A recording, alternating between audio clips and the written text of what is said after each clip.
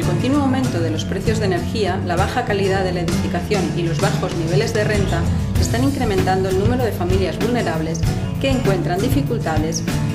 cuando tienen que pagar facturas de gas y electricidad. Los técnicos de servicios sociales son los agentes clave para asesorar a las familias y poner en práctica simples medidas de ahorro energético que mejoran el confort y reducen el importe de las facturas. Por eso, este curso proporciona las herramientas y los recursos para entender los conceptos básicos de energía.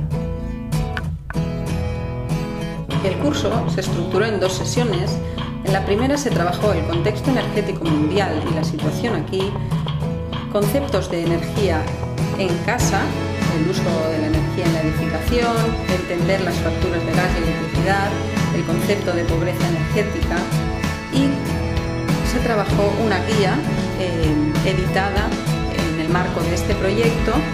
para identificar situaciones de pobreza energética. La segunda sesión trabajó el ahorro energético desde el punto pues, de los equipos, de la climatización, de la iluminación, las regulaciones térmicas, la refrigeración y la última parte de la sesión fue destinada